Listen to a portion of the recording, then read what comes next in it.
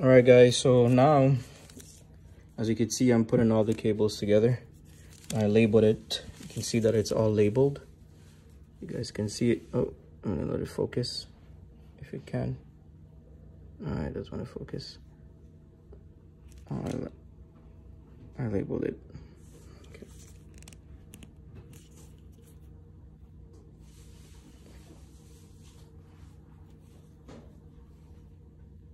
There you go. So you can see it's all labeled and the same thing. If you guys want to save on, you know, cable management, I'll suggest you guys using an ethernet cable wires.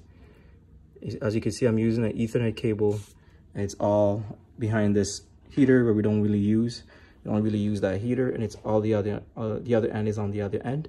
As you can see, using an ethernet cable, it's, it's as powerful as a, as a, as a speaker wire it, it, it's powerful because this one is a um, it's graded for in-ground uh, Ethernet cable. So that's what I use it. So this one can hold at least four speakers. So so it has eight. So it's a Cat eight. So it has four speakers. And yeah, so I'm gonna use this. As you can see, I have the diagram here.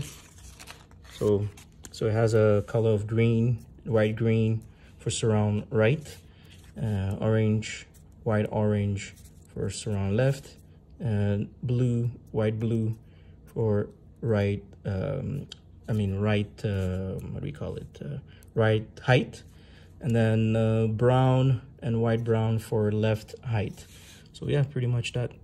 So again if you want to save on cable management use an ethernet cable and at the end you split it with this after. All right guys um, i'm gonna keep on going. I'm gonna show you guys the end result when i'm done.